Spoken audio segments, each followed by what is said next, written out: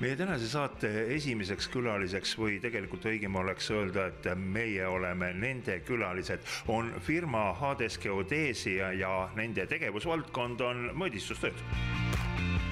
kui igapäevatöö on teemaks, siis äh, alati on esimesena viisakas küsida, et äh, palju seda töökest ka praegu on? selle aastaga on aina rohkem ja rohkem hakanud seda tulema seoses just hoonete inventariseerimise ehitusjärgsete mõõdistuse näol sest aasta lõpu poole peab olema ehitusregistri andmed korrastatud. mida see nüüd täpsemalt tähendab, midagi ebameeldivat äh, majaomanikele? ebameeldivat nüüd ei tähenda mitte midagi, et kõigil, kellel on juurdeehitusi tehtud või pinnaandmed ei vasta ehitusregistritele, registri andmetele, siis need on vaja nüüd korda saada aasta lõpuks. ja see tähendab lihtsalt võib-olla lisategevusi natukene, et hoone, hoone andmed tuleb korrastada, sellega seoses on vaja mingeid toiminguid teha. meie teeme näiteks hoone äh, mõõdistusprojekte ja hoone ehitusjärgseid kontrollmõõdistusi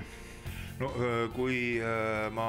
nii-öelda mõtlen väga-väga pikalt tagasi, aastakümneid tagasi, siis kunagi oli tõesti olemas selline inventariseerimisbüroo, mis iga natukese aja tagant käis, mõõtis majapidamise üle ja said uue projekti. Teil on umbes sama tegevus, aga oluliselt kaasaegselt just nii jah, et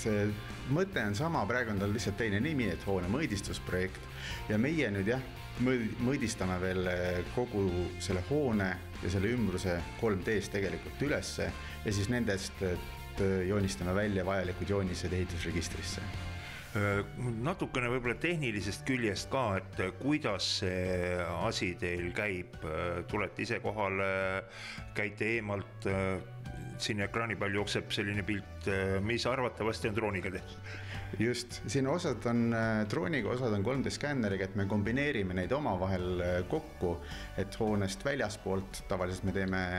droonidega, saame ilusad värvilised mudelid, hoones sees me teeme siis 3D laserskänneriga, mis annab meile ruumidest väga detailse ülevaate, mille põhjal me saame siis väga detailsed joonised ka koostada objektid mõõdistate üles 3D-na, äh, aga äh, kuidas need tulemid, kuidas te neid äh, väljastate, kas siin on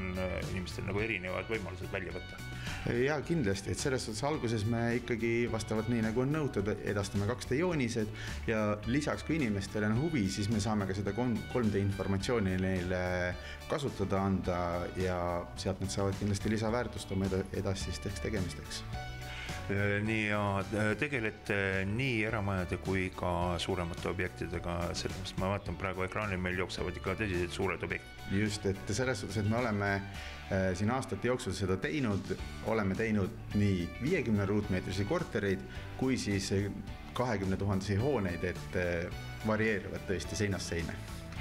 no ja teiega ühenduse võtmine käib ikka üle interneti, nagu meil tänapäeval tavaks on. just, internetist on kõik leidav, hades.ee ja sealt juba saab edasi